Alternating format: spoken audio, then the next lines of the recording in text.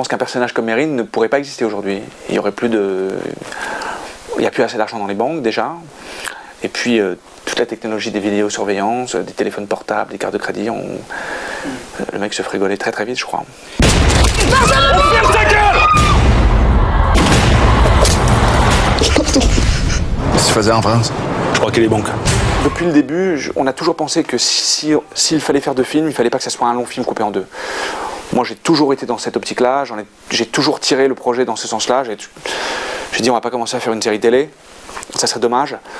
Donc, quitte à ce qu'il y ait deux films, il faut vraiment qu'ils soient distincts dans leur forme. De toute façon, c'est deux époques radicalement différentes. L'air de rien, les années 60 et les années 70, les mentalités changent. Euh, je vous parle pas de tout ce qui est plus superficiel, comme les, fringues, les, les- costumes, les, euh, les coupes, les voitures, les musiques. Mais même dans la technique de filmage, en fait, euh, Jean-François s'est complètement adapté à, à ce parti pris. Et. euh, et a fait deux films dont la narration diffère réellement. Maintenant, je crois, que- je crois que d'un point de vue purement cinématographique, j'ai pas toujours été pour deux films en fait. J'ai toujours trouvé ça assez risqué. Mais maintenant que les choses sont là, qu'on est à la veille de sortir le premier, que je vois les deux objets pour ce qu'ils sont, en fait, je trouve que ça rajoute quelque chose. C'est, euh, il y a tellement de choses qui se font en ce moment.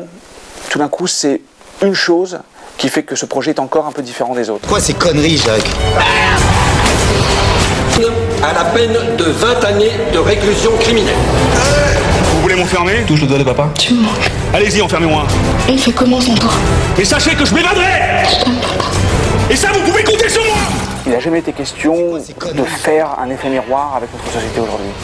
Nous, on a vraiment voulu raconter l'histoire de Mérine. Ce qui est intéressant, c'est que peut-être, en tant que spectateur, on peut y trouver des échos, certains échos.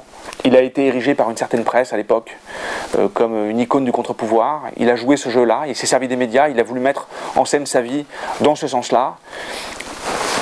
Il correspond à quelque chose. Je pense que ses engagements politiques hors des QHS n'étaient pas toujours euh, très très fondés, mais, euh, mais il est devenu un élément politique.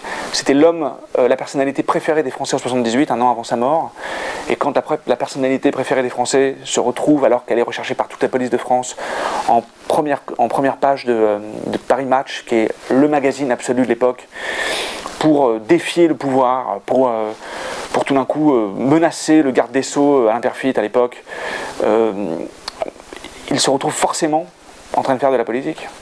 Personne me tue tant que j'ai pas décidé.